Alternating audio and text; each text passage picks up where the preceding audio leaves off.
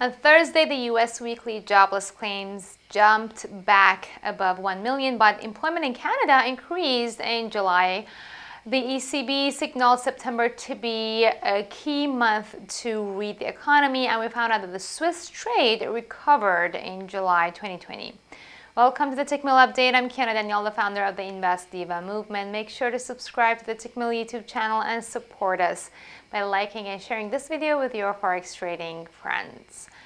Uh, Friday, we'll be eyeing PMI numbers from Germany, Euro area, the UK, and the US. Today, I'm looking at the Aussie yen pair which is still struggling to break above the 76.60 resistance level and appears to have lost bullish momentum. With that, we could expect another visit of the support level at 74 in the medium term. Will you be trading the Aussie yen pair anytime soon? Head over to the comment section and let me know. Of course, trading in the financial markets involves the risk of loss, and you should only trade the money that you can afford to lose. If you like this video, give it a thumbs up and subscribe to the Tickmill YouTube channel. I'll get back to you with more updates next week.